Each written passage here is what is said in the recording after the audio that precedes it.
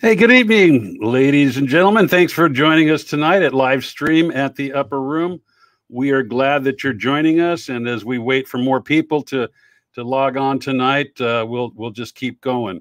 We're glad that you're here tonight, and I'm very excited about the guest I have on tonight, Pastor David Rosales, founding pastor and senior pastor at Calvary Chapel, Chino Valley in Southern California, and uh, a wonderful man. And we're going to go in depth with him in just a few minutes. But just before we do, I just want to let you know uh, if you want to learn more about the Upper Room, go to our website at theupperroompresents.com.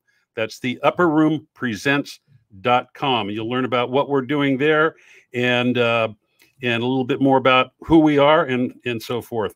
Um, also, let me see what else I have. Oh, if you haven't liked us on Facebook, please do so. And also, tell your friends that may not be on Facebook that we simulcast this broadcast on YouTube. Both can be found at the Upper Room Presents, and you could subscribe to our YouTube channel, or you could uh, just like or follow us at the Upper Room on Facebook, and you'll be notified when we go live. So, those are the things I wanted to get out of the way, and we want to get right into our our guest tonight. You know, one of the things that uh, I'm doing right now is we're doing a series on certain Calvary Chapel pastors. And these are pastors that I that I have admired and respected for years. Uh, my beginnings were in Calvary Chapel in 1976. I went forward at a concert and dedicated my life to Christ. And uh, at, at uh, one point, I was on staff at Calvary Chapel of Whittier as a as a youth pastor back way back in the 70s. And uh, but these gentlemen I have uh, admired for many many years, and and those that are that are in this series, and we've already uh, done uh, an interview with uh, Raul Ries of uh, Calvary Chapel um, Gold Golden Springs, and then we did. Um, we did Barry, uh, not Barry Stagner. We did uh, last week. We did uh, Skip um, Skip Heitzig. Okay, it's senior moment there. And uh, ones coming up are going to be uh, Joe Focht, Calvary Chapel of uh, Philadelphia. And actually, Joe and I go way back to Calvary Chapel of Whittier when he was there. Uh, Mike MacIntosh, Barry Stagner, uh, Jack Hibbs, and Greg Laurie. So we're looking at forward to some uh, great interviews ahead, and it's our Calvary Chapel Pastor Series. But I'm not going to waste any more time before we bring our guest in. Would you please welcome Pastor David Rosales. Hey, David. How you doing, Ron? I'm well, thank you. Good to see you, and thanks for thanks for being with us tonight. Oh, it's a blessing. I'm I'm I'm I'm real blessed to be with you. Thank you. Well, thank you, and likewise. You know, we uh, as I was mentioning to you, I think one of the things that uh, and and the, the, those pastors that I had just mentioned, um, you know, everybody sees you guys all the time. You, are on. Uh, on live streaming, you're on the radio, uh, people see you at church, but um, I know most of you guys aren't guys that like to talk too much about yourself. And uh, what always intrigues me is the man behind the ministry, the man that God called to, to the ministry, uh, your personal story, your backstory, your upbringing, um, things that made you who you are today. You know, I read a when I read something, and I'll, I'll read it now, a quote that that you said, because we'll get into this a little bit later, but you said, when I look back on those years, meaning those years that you were in drugs and alcohol and so forth, when I look back at those years, it seems like another lifetime. Uh, that's why today I'm actively involved in the community and trying to reach people where they are, where they are at. The world is full of troubled, tired, and hurt people. God loves them, and so do I. That's what this ministry is all about. We want people to see that God is in the business of changing lives. And change lives he did in yours, didn't he? Amen. He surely did. And God so, is gracious. He certainly is. Um, but let's let's start at the beginning, if we could. You did you grow up, or were you born in in California? And yeah, I was born and raised born and raised in California. Born in um, Whittier, California, and grew up in uh, in Norwalk and remained in Norwalk until uh, until the mid 70s when I married and then, you know, moved out. But yeah, I was yeah. born and raised in Southern California. Did you? Okay, I grew up right next door to you in Pico Rivera. There you go. so, uh, and did you come from a religious uh, household at all, or? Well, I came from a um, religious in the sense of um, um, my mom's my mom had a, a, religion that she followed. You know, I'm I'm Mexican American. You yes. know, and so uh, it's pretty typical for Mexican Americans to be raised in the Catholic faith. Yes. And so, so I was raised as a a Catholic. I got uh, baptized when I was four months old in uh, what is called La Placita Church in uh, in uh, Olvera Street, very oh, old church there. And yeah. so Mama took me there to be baptized. I received my uh, uh, first communion and sacrament of confession, and then went on to uh, to my confirmation at the age of 13. And so I was raised in a Catholic environment by a mom who had a, a certain devotion, we will say, as a Catholic, but nothing nothing extreme in terms of having to go to church every Sunday and things of that nature. But yeah, my dad, on the other hand, was uh, was pretty much not so much an agnostic as somebody who who simply never thought about what the issues of faith are and never spoke of God in my entire life. I never heard my father one time use the name of God outside of when he was swearing. You know, so that's kind of how it was for me. Right. And so I was raised in a, a home with a uh, with a Catholic mom and a pretty much uh, a non-religious father. Yeah. Was it a loving home? Did you have a good family life? Was it? Uh, I, I, think that uh, no, it wasn't a loving home. Uh, in in what we would say today is a model of a loving home with a, a, a father involved and a mother that's yeah. generally kind. No, um, my dad was uninvolved, and uh, it wasn't. He wasn't a real pleasant person. He wasn't a mean one, yeah, by any means. But he wasn't. He wasn't a vocal person and not an affectionate man. I, I, I think in my entire life, from the time I was as small as I can remember till I was probably in uh, 20 years old, I don't remember my father outside of one time ever saying, I love you. My father was an affectionate. And uh, my mom became ill at a very early age. She was only 24. And she began, uh, she became um, subject to epileptic seizures. Oh. And so when I was four years old, she had her first, and uh, they put her on various medications. Uh, and uh, on occasion, she would mix her medication with uh, alcohol, and then fly into rages. Oh and gosh, yeah. On on yeah, on occasion she could be she could be very abusive. Yeah. So no, I didn't come from a, uh, a Christian home by any means or a, a warm home by any means. Though my mom, when uh, under normal circumstances was very deeply in love with her children. She, when she was on her medications and when she on occasion abused uh, the alcohol, now she became everything but. Yeah. And so that's how I was, you know, that was my environment for many years. Yes. So how many uh, siblings did you grow up with? I have a, an older brother and two younger sisters. So there were four of us in, yeah. in the home. Yeah.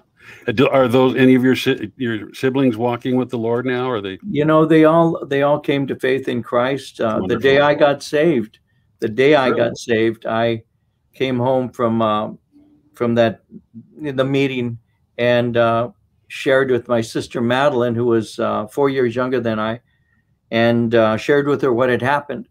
And uh, she went to bed that night and said, "Whatever you did to my brother, I want you to do that for me." Is that right? So she got saved the the same day I did, and my brother uh, a few years later, and uh, my sister Rebecca uh, got saved in 1998 after living uh, as an open lesbian for for many many years. Wow. She she gave her heart to Christ, and it's just an amazing transformation that she's gone through. Wow, that's wonderful. So God has swept through your family. Amen. Yeah. Folks, if you're joining us uh, right now, we're speaking with Pastor David Rosales, founding and senior pastor of Calvary Chapel, Chino Valley. Uh, if you're watching tonight, let us know where you're watching from. And also, we're going to try to take some questions a little bit later. If you have questions for Pastor David, uh, just type them in and we'll try to get to them. Uh, but also, let us know where you're at and make some comments about uh, what you're seeing tonight, or or your thoughts. We'd love to we'd love to hear from you. Um, I know that you did you struggled with some drug and alcohol issues. Was that um, was it in high school or did what with transitioning from your family life? Uh, did did that kind of drive you to a party life or a, were, were there I would say so. I would say so, Ron. You know, when I was small, meaning seven, eight, nine years old, Mhm. I, I actually at that point in my life had wanted to uh, to know God. I can tell you that I I had desires to have a knowledge of who God is and all of that kind of thing. But my mom's illnesses were really they were they're real bad. I mean, I would come home um, fairly often as a little boy, and we're talking about somebody who first encountered an epileptic seizure at the age of four. Oh my. And so I would come home, you know, at, at, at the age of seven or eight from school, nine years old, and it, it went on for years. And on occasion, my mom would be on the ground having a, a seizure. And so I learned very early uh, how to take care of her in her condition. And uh, so what I did is uh, I started becoming very, very uh, afraid she was going to die. I mean, Yeah. um, that's what you do. You think your mother's going to die and all. And so I did. And so I can still remember speaking to my dad because mom was hospitalized on occasions uh, as a youth. And so, and I was, again, about nine years, 10 years old. Uh, I, you know, I loved my mom deeply. And so I was crying myself to sleep one night when my father walked in and mom was in the hospital. And so my dad came into my room and, you know, daddy again was not a real warm man. So kind of in a gruff way, what's wrong with you? You know, what are you crying Right. about? You know, and I said, I'm, um, I'm crying because mama's sick. And he said to me, well, if you are a good boy, she won't be sick anymore. Oh gosh. Never forget that. And so what I did is I, I became the model. I became the model child. You know, anything you can do to save your mother, well, Yes. do it. So I became the model. I mean, I was a very good little boy. People would say that, and, and it was right. I I avoided evil. I I, I did everything I could for uh, a number of years until I was 15. So by the time I got to be 15, my mother was getting worse, not better. And I and I said, well, you know, this this being good doesn't work. I've lost already several years of my youth. I, I actually thought that I've already given up plenty of, of fun times I could have had um, so that uh, mom gets well. She didn't get well. So at 15, I started abusing alcohol. By the time I was 16, I was entering into marijuana use. And then ultimately, as you know, the psychedelic scene came in in late 60s. And I began to, to experiment on occasion with psilocybin or, or THC or on occasion acid, you know, and um, so that kind of became where I was moving Yeah. to uh, in, until I got saved at 20. Wow, that's quite a heavy uh, thing to put upon your your child. When you were nine years old, when your dad said that to you, Right around there, yeah. Yeah, and so you you had to toe that line that to to be the good kid, um, because you know you believe what your parents tell you when you're nine years old, and, and so that that probably had you internalize a lot of things. And did you become angry at all? Did you?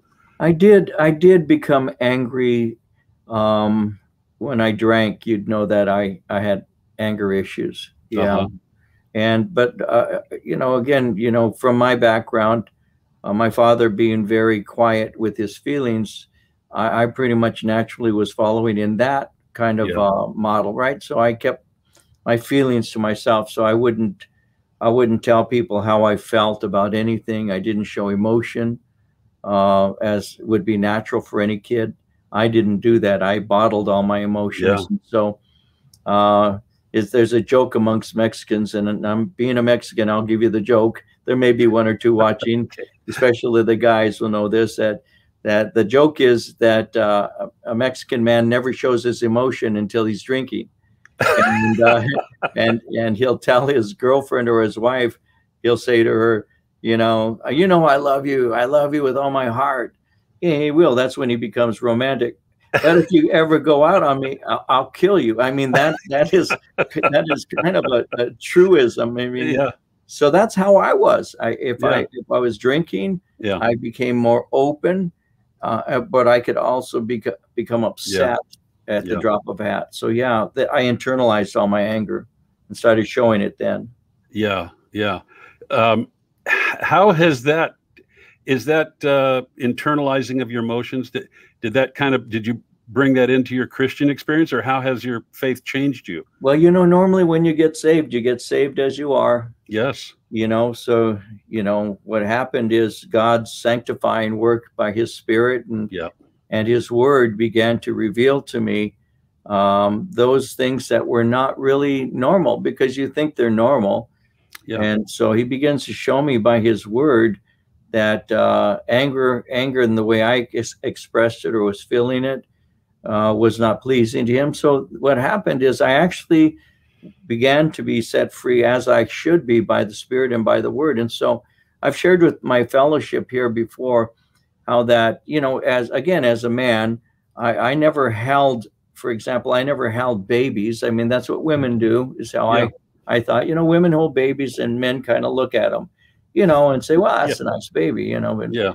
and that's how I was. That's how my dad was. He never said, I love you, never showed affection. And so I thought that was normal.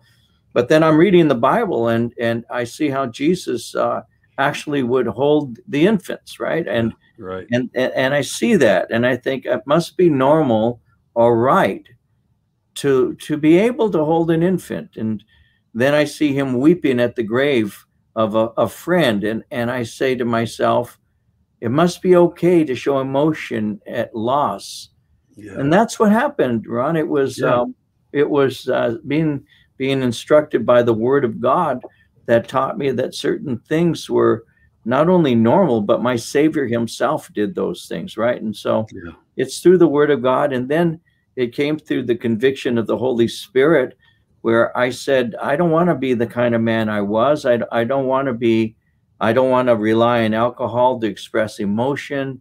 I don't want to be bottling my feelings uh, because i don't want to be controlled by others who can use my feelings against me. And I, I i grew up i just started growing up in christ realizing some very basic things that probably everybody knew except for me at that time. Yeah. and uh, it's through the word of god and and then finally i would say what god used uh, the most in my life was giving me a, a precious wife who just absolutely taught me what love is and she really Yeah. did and so Yeah. all of those things working together there's my girl right there There's your wonderful Marie, your wonderful wife. How many years have you, you guys been married now? 45 years next month 45 years. Wonderful. And how many? There's another nice photo.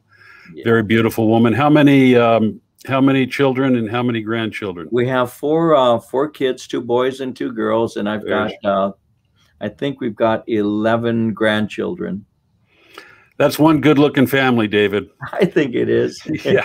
Uh, are any of them in the ministry? Have they followed your foot? footsteps? well uh, my uh my uh my daughter is my secretary my daughter anna is my Yes. secretary right. and my my other daughter corinne just retired out of ministry here 31 years serving as my uh, as one of our secretaries my son david uh, has been working for us here uh, for 30 years and my uh, my son joseph served here for a number of years and now he works for kaiser he's a hospital administrator rn and so all of them Nice. uh, followed in my footsteps in one form or another Excellent. And they're and they're all serving the Lord. yes Wonderful. are. Thank you, Isn't that a blessing? Yes. amen Yes, indeed. Because I know there's a lot of friends that I have that can't say that about their kids, and yes, Mm-hmm. it's a blessing. amen You know, you were talking about emotions, and and uh, and I was thinking. And by the way, folks, if you're just joining us, we're talking to Pastor David Rosales from Calvary Chapel of Chino Valley, and we'd love to hear from you. Some of you have commented already, and, and we'd love to get questions from you as well as we're talking. So feel free to type those in at any time. But we were talking about, you know, because I could relate a lot to what you said, and I think a lot of that has to do with perhaps the time we brought we were brought up in. Uh, my dad was kind of emotionally distant. I knew he loved me, but it was emotionally distant. And just like you said, I don't think he hugged me until I was an adult, you know, and, and Mhm. that was a different thing. But uh, one of the things I think I've noticed over the years is there's a genetic element, and then there's the the environmental element, you know, that we that we learn from our parents, and then you know because I think you probably could relate to this because you and I are you're we're pretty close in age. We're baby boomers, but uh, as you get older, you start seeing, gosh, I, I see my dad when I say that's that, or you know, and so there's there's things that I think we can't get away from. But like you, hugging was a hard thing for me when I became a Christian because I didn't hug other guys. i could hug Mhm. women, but you know, other guys that was a hard thing, and so God does break you down. And, and as you said, you know, Jesus wept at the at the uh, tomb of his friend, and he held children and all the things that we were told back in the uh, 60s, uh, you know, in the baby in the baby boomer eras that men don't do those things, you know. That's right. That's and right. so that's one of the things that God that God does in us. David, transitioning from well, I, I do want to talk about your um, your coming to Christ uh, because you had quite an experience. And how long were you doing drugs and, and alcohol? About five years, close to five years or so. Yeah. Mhm. and tell us about what happened that that brought you to a place of faith. Well, you know, I had a uh, relationship with a young lady when I was uh, in my late teens, and um, you know, I was never good at having having you know relationships with girls. You know, I was just incapable of emotionally investing in a relationship, and so I had a young lady in high school that was somebody I cared a lot about, but didn't work out for us. And then I, I met a young lady after high school, and she became very important to me. So much so that I actually believed that one day I would be married to her. And so my heart, I kind of entrusted to her and all, but it, that relationship just didn't work out, and, and it bothered me a, a lot. So I, I started hiding in in drugs, you know, and alcohol. I started abusing um, um, alcohol and drugs for over a, a month straight. I was I wasn't eating very much, and and I never was. I'm not a large person, you know, but I lost 40 pounds, you know, because I didn't eat, and so I went down to 140 pounds or so. And uh, so I was just skin skin and bone. Yeah, So what happened is. Uh, uh, one of my friends was starting to go to this church called Calvary Chapel. Yeah. There's only one Calvary Costa Mesa, Mhm. and uh, it was the little chapel there. Yeah. Um, and so uh, he he kept asking me to go, and, and I didn't want to. Being raised in the Catholic Church, I I really believed that I already was a Christian. So why Sure. are you why are you bothering me? You know, leave me alone. Yeah. And so I, I finally, to get him off my back, I, I, I smoked some pot. I drank some uh, some beer. I was barefoot. I was a hippie, you know. So Mhm. I went to I went to church, you know, with him, expecting to be kicked out, you know, because at the Catholic Church, I went to St. Pius X Church in Santa Fe Springs. yeah, I would have been booted right out of the church. I mean, you Yeah. can't walk in there barefooted, let Sure. alone in the condition I was in. But there was a, a welcoming atmosphere, you know, and Yes. it was all it was the hippie kids. you're right. This was in the summer of 1970. I was 19 years old. wow. And so, uh, yeah, I walked in and I experienced something. I didn't know what it was that I was feeling, but it was different than anything I'd ever felt, and especially different than anything I'd ever felt in my home church. And so, uh, I remember a young man named Lonnie Frisbee, Sure. and Lonnie was giving the study that day, gave an invitation for people to be saved. But I believed I was a Christian already. And so I thought, nah, I'm not ready for this. And so I actually spiraled even worse uh, in my alcohol and drug abuse. And so, um, you know, a couple months later, now it was like in September, October or so of uh, 1970, I um, I drank um, almost a half gallon of wine by myself because I used to drink a lot. I was, you know, I, I drank Yeah. a lot. So I drank almost a half gallon of wine and dropped, uh, I think it was five reds, which is Seconal, which Yeah. is a, a barbiturate poisoning. I didn't realize I was I was killing myself and didn't know it. And so It's a depressant, right? A red was a depressant. yeah, yeah, we used it just be, we called them downers, you know. Yeah. And uh, so I I climbed in the back of my my car. I had a station wagon that I actually slept in when I couldn't drive, and I almost died. I I, I woke up, and uh, I was about to vomit, and I knew that barbiturate poisoning poisoning was you vomit and you'll die in suffocate in your own vomit. I knew that because I knew a guy who had done that. Jimi Hendrix had died Yes. you know these people that I, I I I I idolized had died in that way. I knew how they died, and I almost died that way, Ron. And so I was laying in the back of my car, and I was I prayed, and I hadn't prayed in since I can't remember when. And I Yeah. said, God, please don't let me die. I'm too young. and I, I I passed out. I woke up the next morning realizing that that yeah, I made it, you know. Yeah. But I didn't change. I, I I got worse. I even started doing worse, and so I, I started stealing things and walking out of stores with my my arms loaded with clothing, just daring them to arrest me. And I started living even crazier because because I was so brokenhearted, and I just I thought I might as well. Who cares? You know, I got that Yeah. point.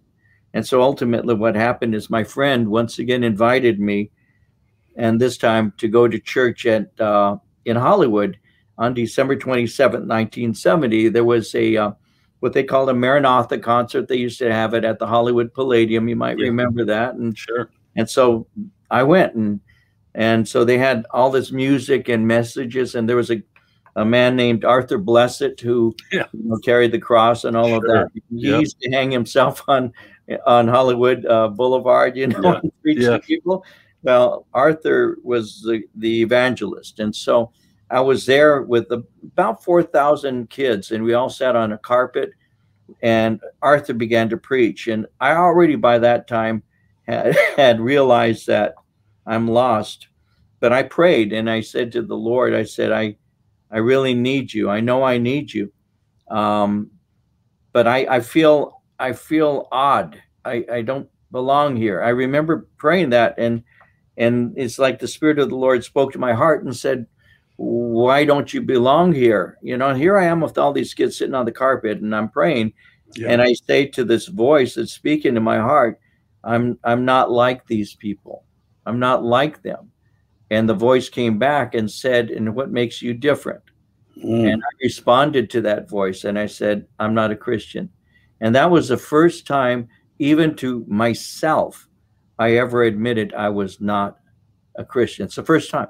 I had never, I would have argued with you hammer and tong that I was a Christian yeah. because I was Catholic. I'd been baptized, I've been confirmed, and all of that.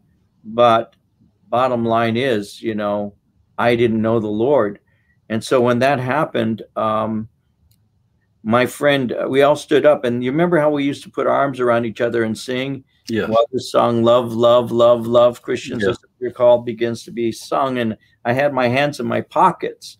And everybody around me was swaying, and except for me, it's just me in that area with my hands in my pockets because I didn't know the people I was standing next to. Yeah. And my friend George turns to me and says, he actually calls me. He's behind me and he says, David. And I turn around and he and a girl named Lori, they, they were swaying, they parted and made room for me. And I put my arms around their shoulders. That was safe. said, You this knew is them. the place. This is the place for me. This is what I need.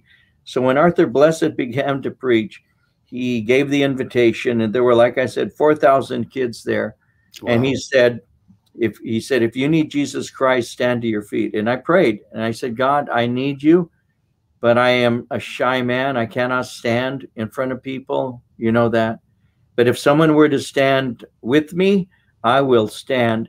And Arthur Blessitt as god is my witness said no sooner had those words been formed in my mind that he said perhaps you're afraid to stand by yourself. If someone stood with you would you stand? Wow. and my friend George tapped me on the shoulder and said, I will stand with you December 27th, 1970.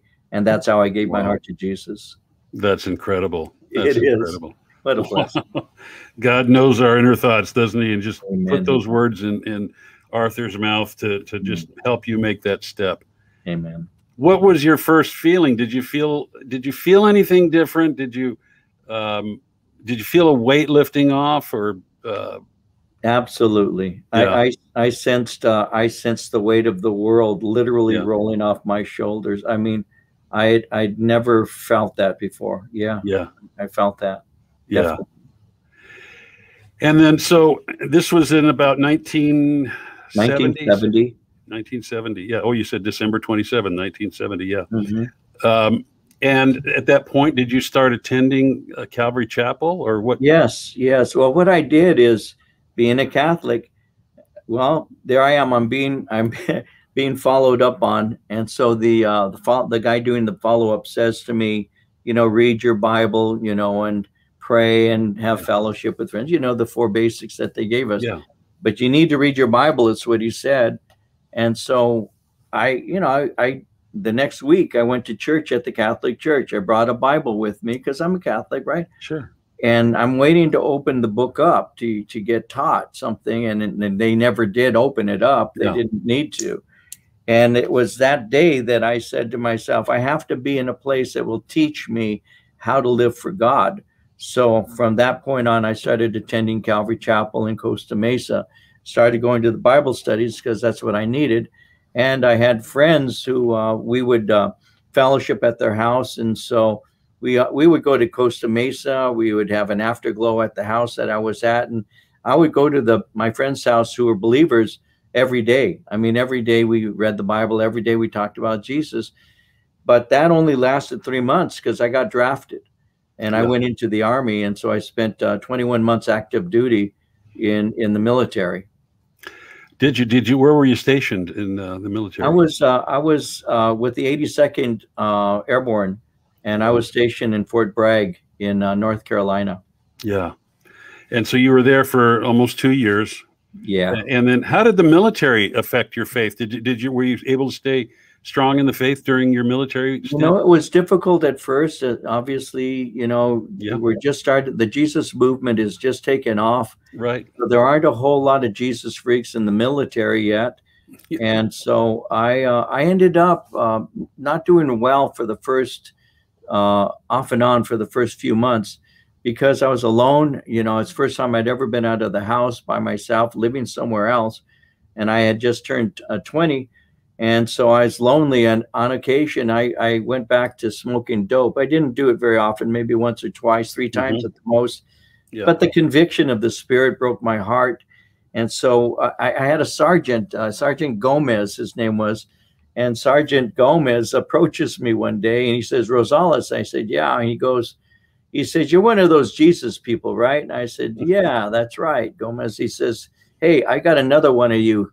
I know. His name is Rendon, Rendon. And I said, Oh, yeah? He goes, uh, Let me introduce you to him.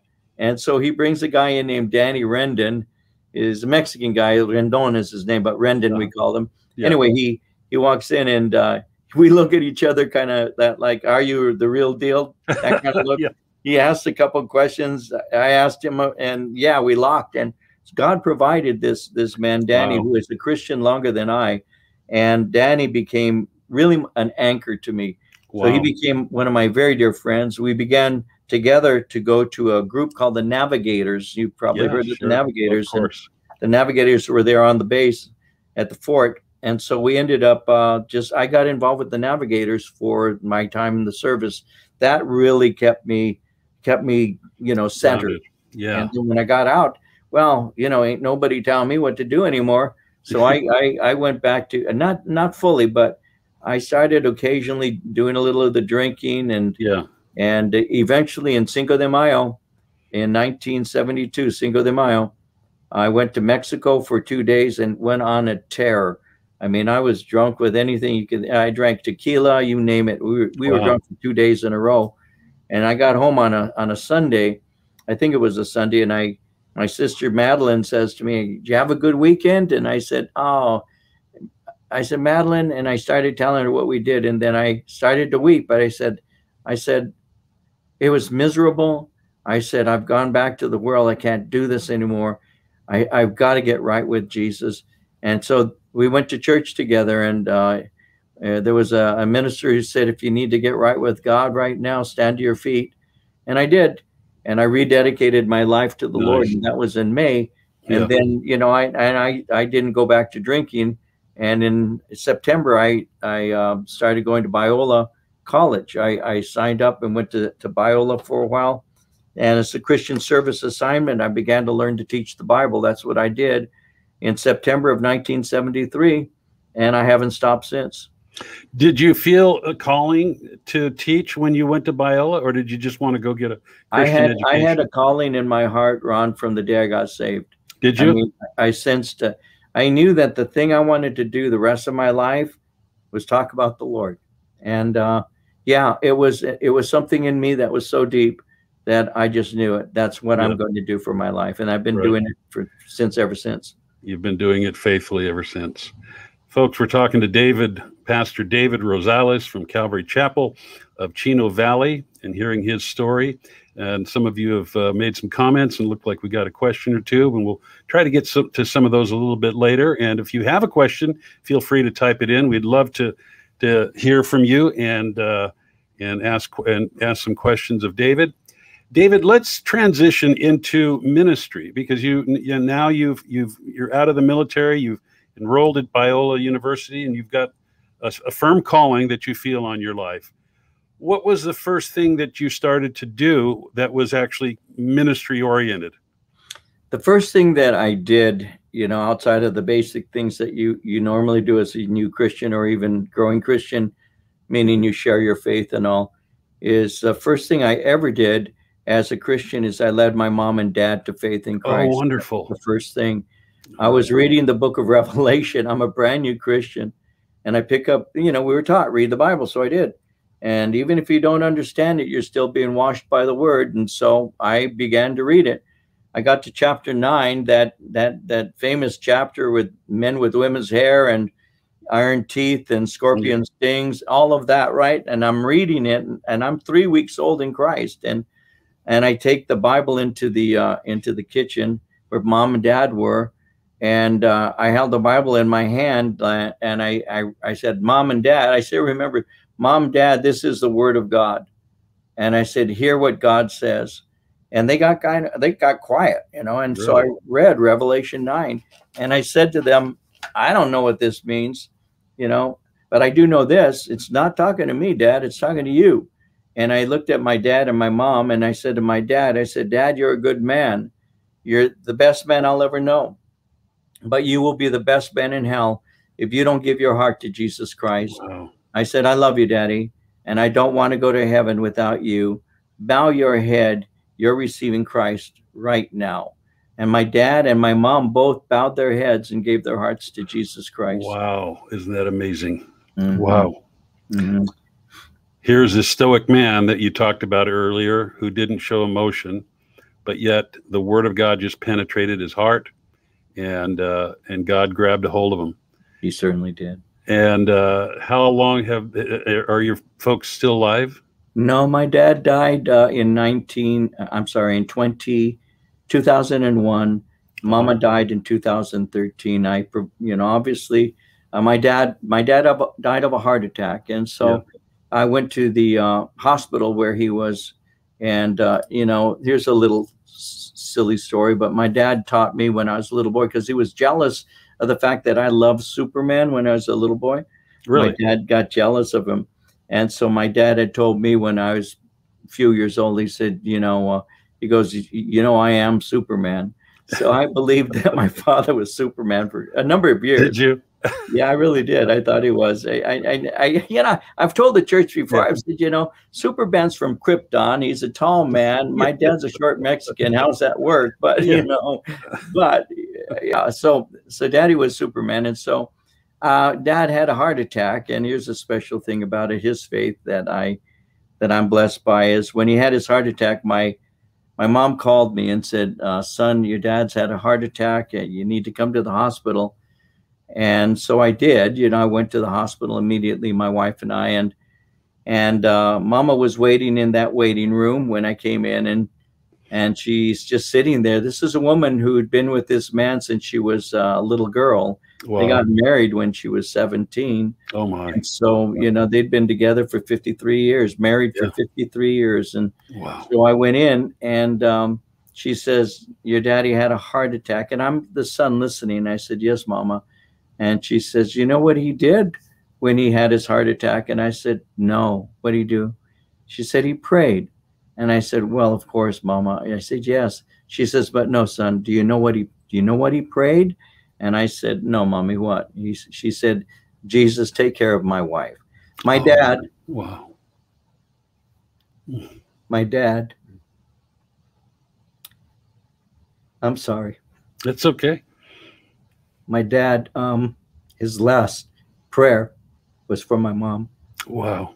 Isn't that something? Oh, it, it tears Gosh. me up to remember. But what a legacy, you know, what yes. a legacy. Yes. And so, uh, so yeah, from from a man who didn't show any faith of any sort, Yeah. a man who didn't show love. That's how he died.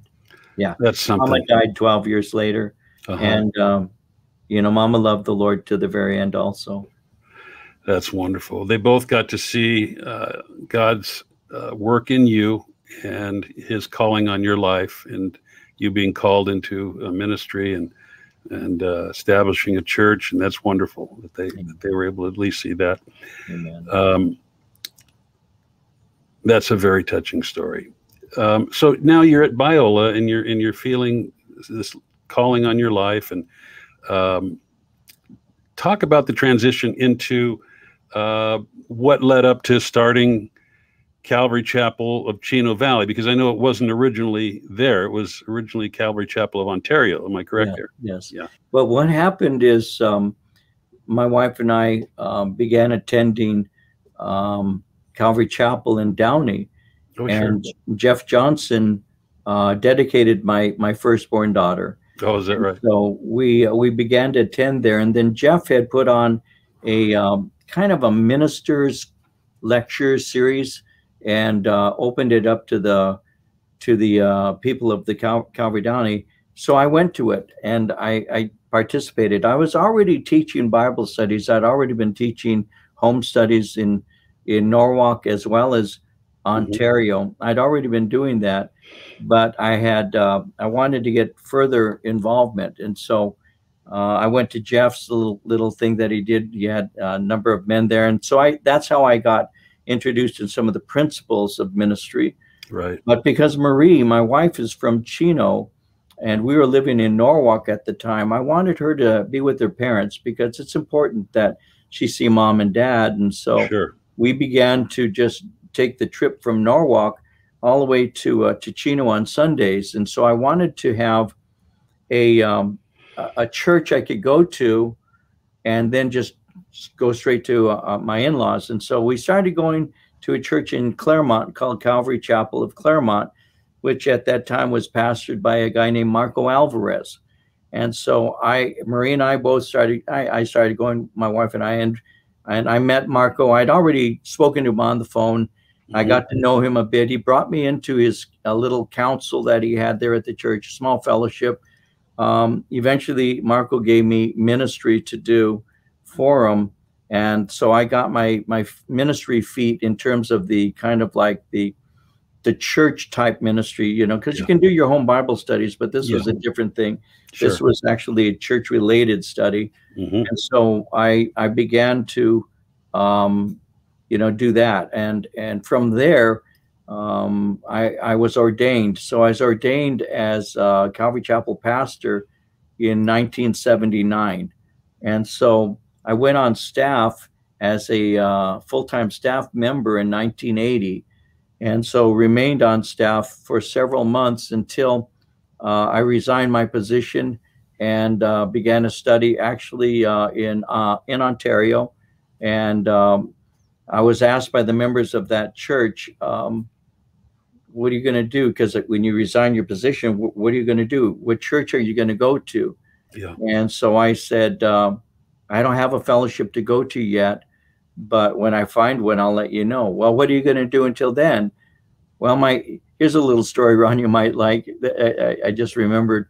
Um, I said I'm going to meet at my sister-in-law Patty's. Now, Patty, Patty, um, we had an outreach when I was in Claremont. I was Mhm. kind of the evangelist kind of thing we had, and we brought Odin out, Sure. Odin Fong, Mhm. and so Odin was Odin, Odin did the music, and I think I trained more follow-up counselors than showed up for for the country. You know, it, it really wasn't the most Yeah. effective outreach we'd ever done. Right. And so, you know, I gave an invitation. Nobody came forward. So, you know how it is. I went into the back and um, in the backstage area, and I'm thinking, well, Lord, seeds, you know, seeds were sown. Yeah. When my sister Patty, sister-in-law Patty, and her roommate Felicia came into the back, and Patty walks up to me and she says, you know, nobody came forward. You know, I said, yeah, that's right Rub it in, huh? yeah. And I, I said, Yeah, that's right, Patty. And she says, Well, I guess I should get saved. And that's Oh, how she got saved. Oh, wonderful. That's how she got saved. And Oh, she gave gosh. her heart to the Lord. And after she did that, you know, she started coming to the church that I was pastoring, she and Felicia.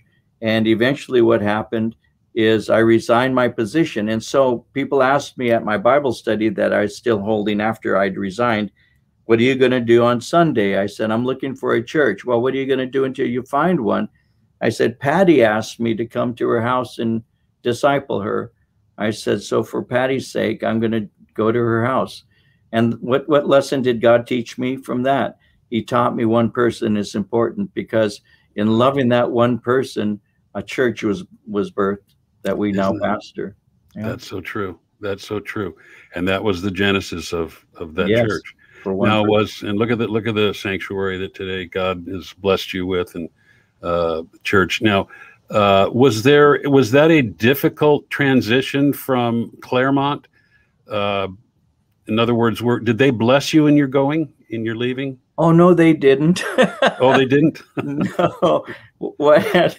It's a sad story, but I'll tell it it? anyway. Okay. Um, uh, the uh, the former senior pastor resigned his position. Uh-huh. I was uh, when ordained. I was 28. I became 29 just shortly thereafter. Mhm. The senior pastor was a young man at that time, of, I think 22 or 23. I had a lot of life experiences from my drug, alcohol, and military Yeah. that this young man never had. yeah. And so, you know, and I was married, I had children. So I had life experiences that he didn't have. And because he didn't have them, we didn't connect very well in ministry.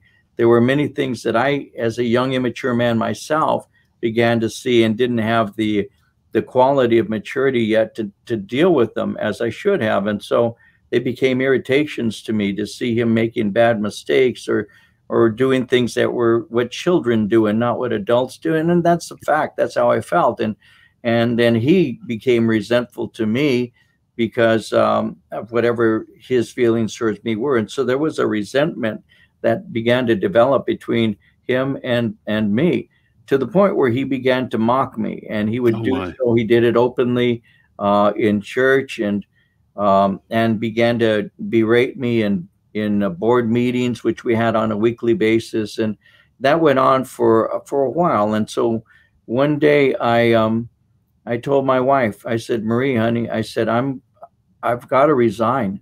I said this is this is not working but marie thought that i was uh, just running from problems you know no you've got to Yeah. stick it out be a man these are where my friends are you know you're asking us to uproot everything and because i love my wife and i don't want her to not be cared for right. you know, I, I, I said, well, I'll just, I'll just stay where I'm at. And, but he, it, it kept going until finally I started coming home so, so beaten down. She start, I came home like two weeks in a row just, and I wept. I said, he's Marie, he is, he's destroying me every meeting. he- He's, he's destroying me. You're not a pastor. You're, you know, he's destroying me. He's mocking me. He's mocking my, my ministry, my emotions, everything. And so finally, one day, the Spirit spoke to her and said, uh, "said you need to release him." And just right around that time, here's another one of those supernatural things.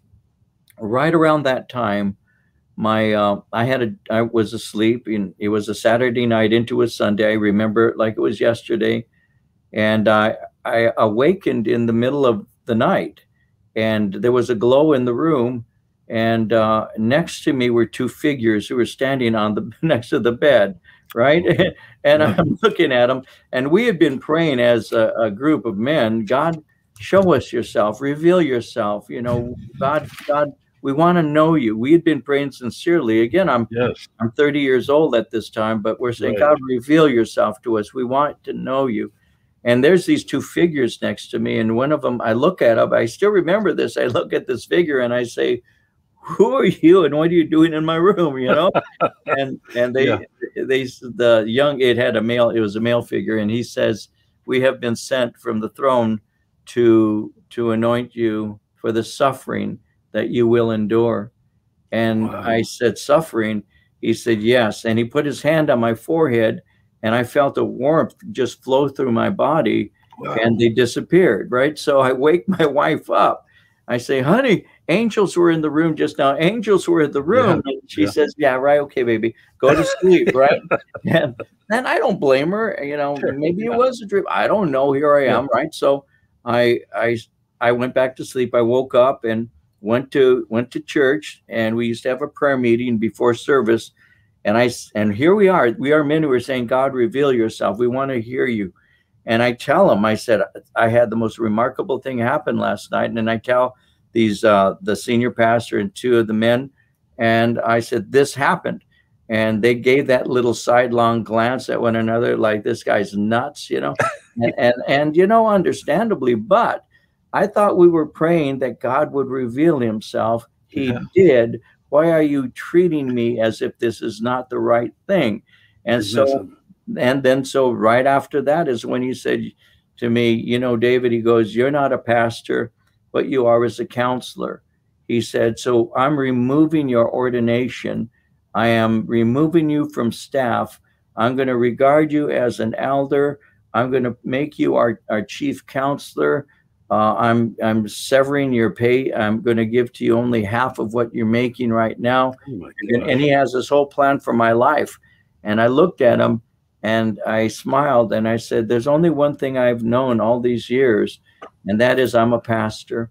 I said, But it's simply obvious that I'm not one here. I said, So I resign. And I resigned. I resigned my position that day. I said, I'll give you two weeks' notice.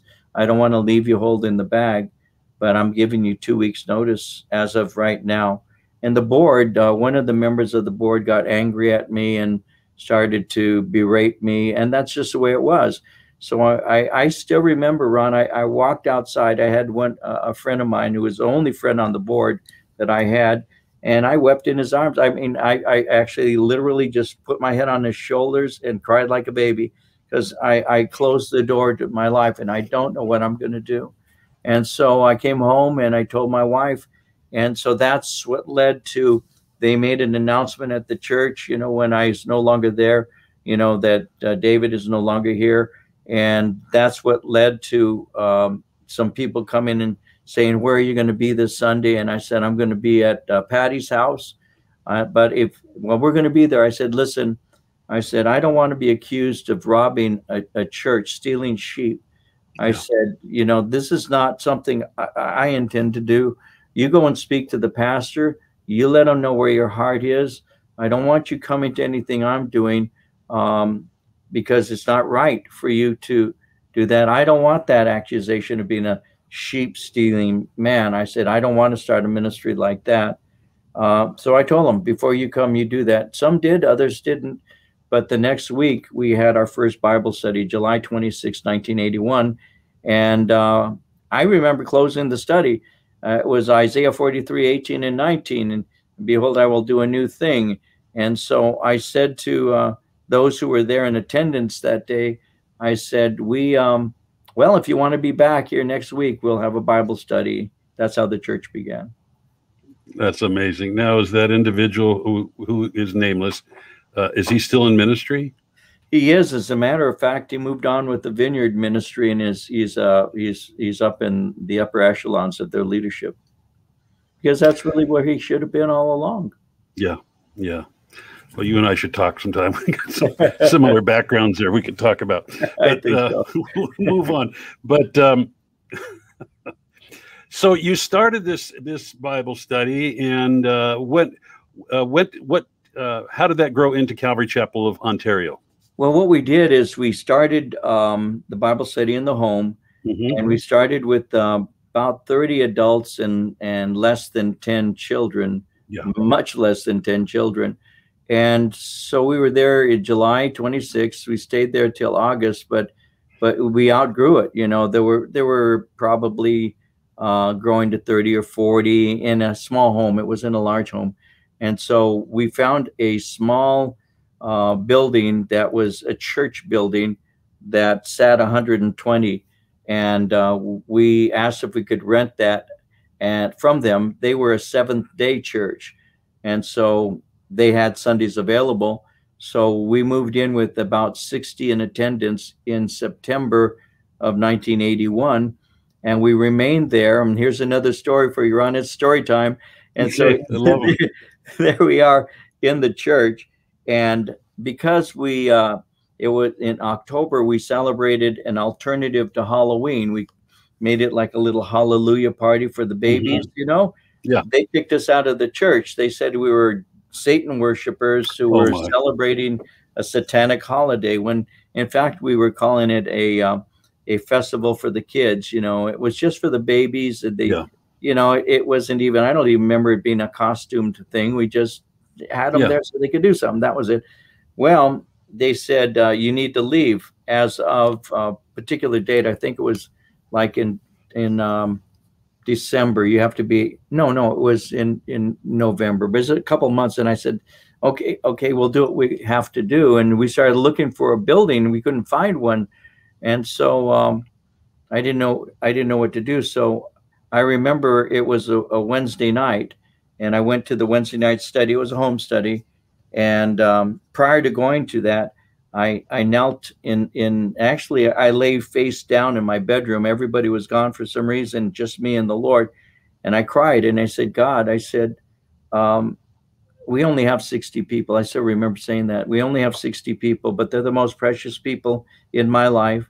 I said, uh, if if if Greg Laurie were to lose 60 people in a moment, he wouldn't be able to notice he has so many. But Lord, these are the only ones I have and I, I, I- I don't know what to do. And and I, I I got up, washed my face, and went and taught a Bible study. I came home, and I was laying in bed, and about to sleep when I heard a voice in my heart once again. Actually, it was more of an audible voice than just an inner voice. He said, "You will need a place to seat 200 on Easter Sunday." Oh, and and I remember thinking, yeah, that makes sense. And so what happened was the next morning, uh, I was preparing John 12, 24. Unless a grain of wheat fall into the ground and die, it abides alone. But if it dies, it brings forth much fruit. Mhm. And so I remember closing the Bible and I was preparing the study. I was just reading and I closed it and I said, Father, I have died. I said, I am, I have died, you know, and I had written a week earlier to Pastor Chuck.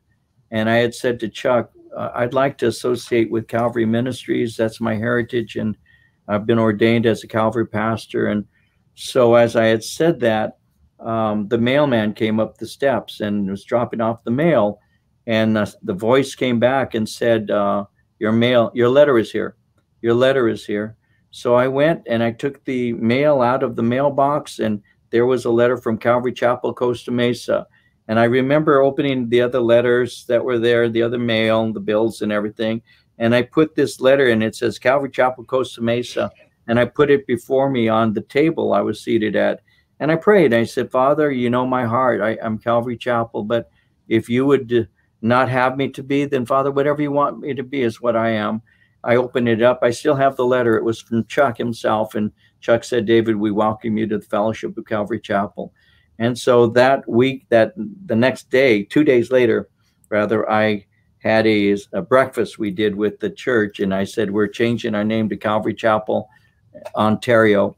And so we changed our name. And uh, from there, the church began to grow.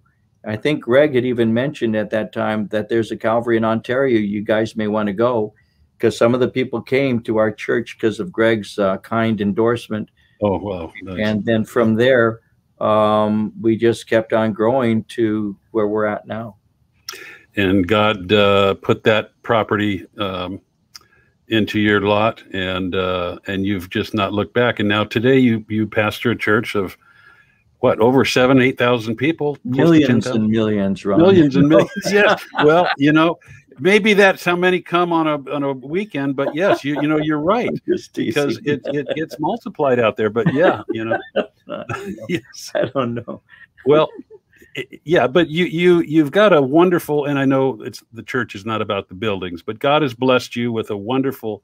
I, I walked around there um, when I went out and visited you earlier this year, That's right. Yes. and uh, wonderful grounds there. And, and folks, by the way, uh, uh, and David did not ask me to do this, but if you're in if you're in the Inland Empire and you're looking for a church, Calvary Chapel of Chino Valley, that's Calvary Chapel, ccv.org. They have services on Sunday morning at 8:30 and 10:45. If you've not heard Pastor David teach, wonderful man of God, teaches the Bible in a fundamental way, in the sense that he's he expound, expounds upon the scriptures and um, just through the Bible, faithfully through the Bible. Uh, and uh, he's been a faithful man. And as I started out saying with this, uh, there's your YouTube channel, uh, Calvary Chapel, Chino Valley. You could tune into that. Um, but there's there's some men because my my beginnings were at Calvary Chapel that I that I admire and respect. And, and you're looking at one here, David uh, Rosales, uh, who's been faithful, been a faithful man of God. Uh, I know he's probably uncomfortable with me saying this, but he mm-hmm. has been a faithful man. God has blessed him. God has given him visions, um, and that's the faithfulness of God. And David, in our in our final moments here, there may be some people watching and people watching in the future who, who watch these after they've aired. Um, they're hurting. They're they may be people that don't know Christ, who don't have a relationship with Christ. What would you tell them? I would say that the the, the God that we worship, the God that we serve, is uh, uh, He said it of Himself. He said, "I am the one who heals the brokenhearted."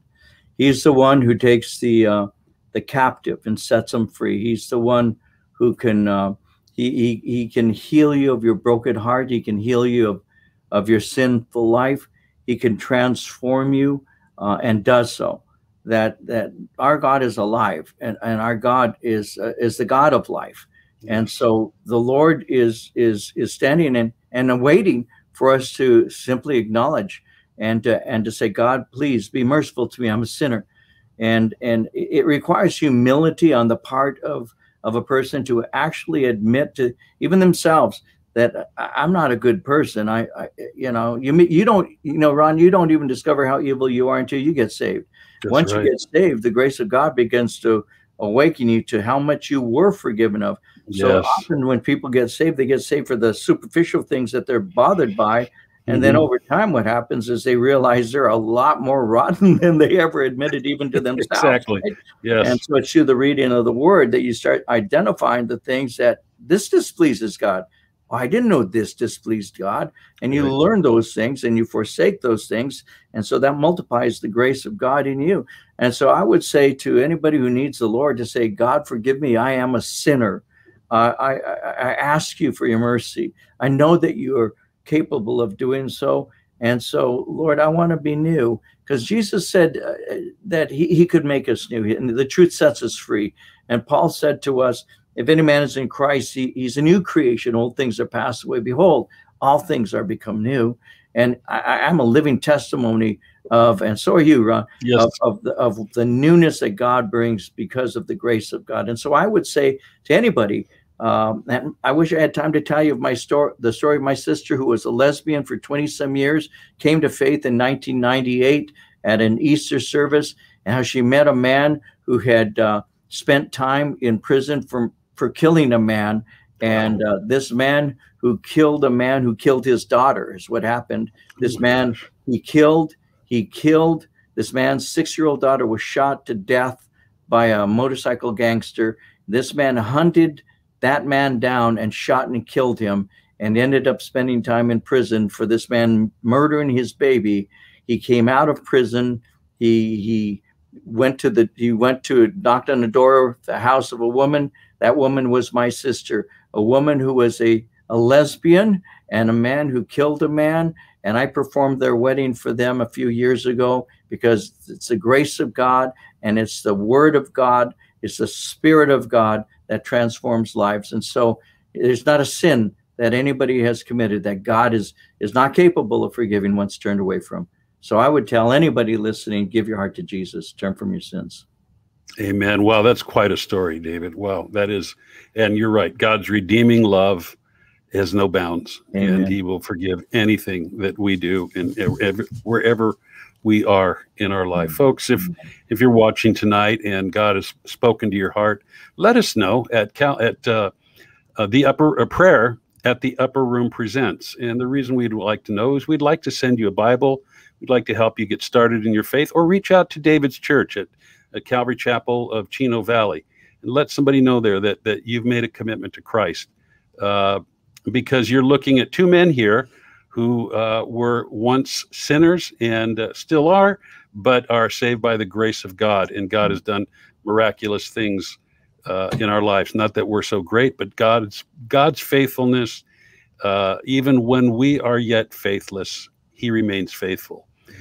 David, thank you so much for being with us. I, I love your story, and uh, you, have got such a sweet spirit. My wife says I, I love the way David teaches, and uh, he's just got a way about him, and um, that's a, that's a gift. That's a, a blessing you, of God. Thank you so much.